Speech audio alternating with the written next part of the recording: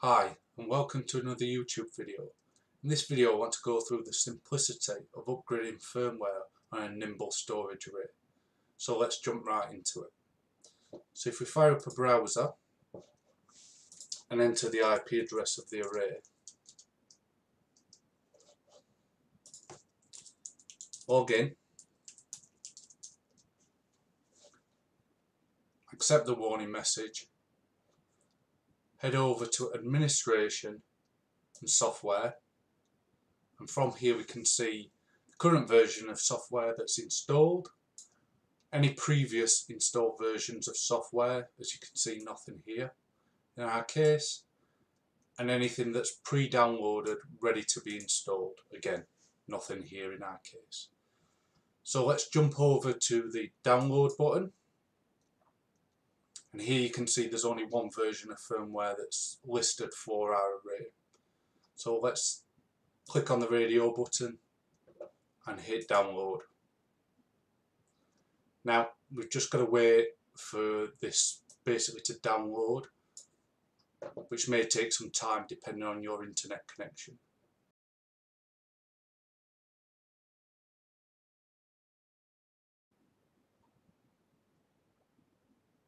So the download is completed and as you can see now we've got the update button that's now available. So it's as simple as just clicking on the update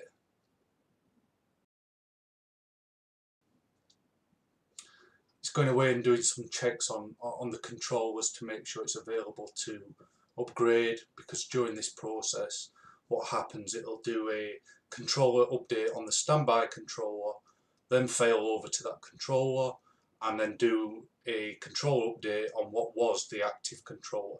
So you're in a state where whatever was active at the end of this process will now be in standby.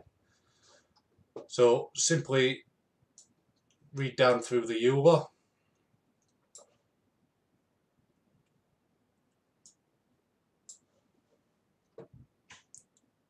Put a tick in the box and agree with the EULA.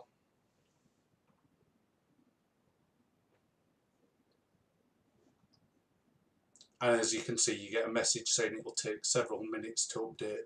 Now obviously depending on what the ver current version of firmware that you're on and the version of firmware you're going up to will depend on the time it takes. But from my experience it's approximately 30 minutes 15 minutes per controller thereabouts. And as you can see now we it's showing you some some information on what's happening. And some of these steps may get skipped or it may update in that step and go through that process. So don't be worried if you see something that stipulates that it's up to date on, on, on that version of firmware and it doesn't need to do that a bit, just let it go through the motions. Now as you can see we've got this nasty area that comes up that says uh, a web uh, the web service is very slow or unreachable. This is normal. Don't worry when you see that. I know it looks severe, but you can ignore that.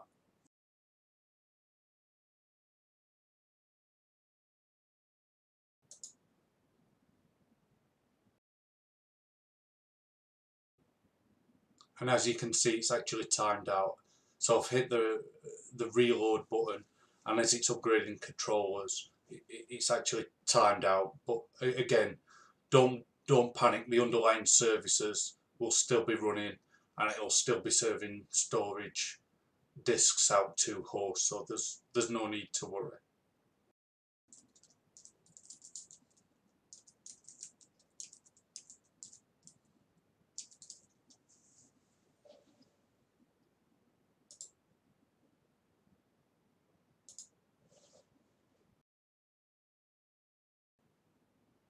Now as you can see, the firmware is done. So the current version has now been upgraded. You can now see the previous version.